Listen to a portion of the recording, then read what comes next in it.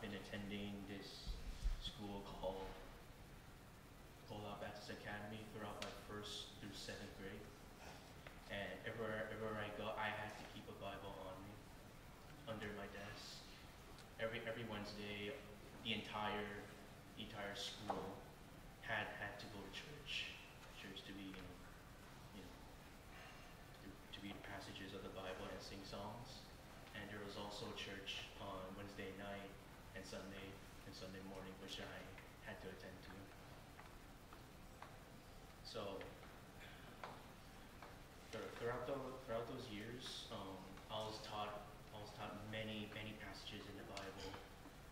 The most one I've been taught is from is from Genesis, where where the teachers try to try to teach their students to view the children, or view, view view their students as if the world was created by God Himself.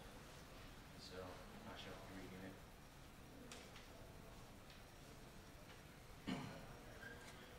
In the beginning, God created the heaven and earth. And the earth was without form and void. The darkness was upon the face of the deep. And the Spirit of God moved it upon the face of the waters. And God said, Let there be light. And there was light. And God saw the light, that it was good. And God divided the light from the darkness. And God called the light day, and the darkness he called it evening and the morning were the first day.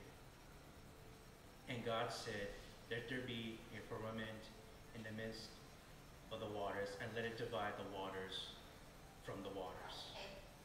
And God made the firmament, and divided the waters which were under the firmament from the waters which were above the firmament, and it was so. And God called the firmament heaven, and the evening and the morning were the second day. And Said, Let the waters under the heaven be gathered together unto one place, and let the dry land appear. And it was so.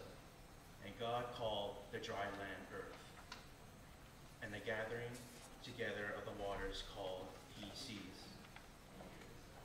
And God saw that it was good.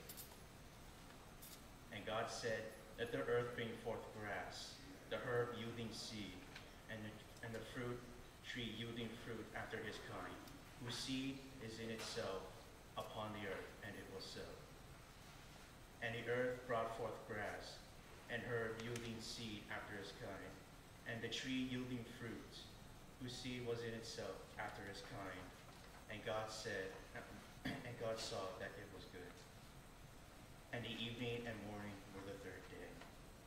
And God said, Let there be lights in the firmament divide the day from the night.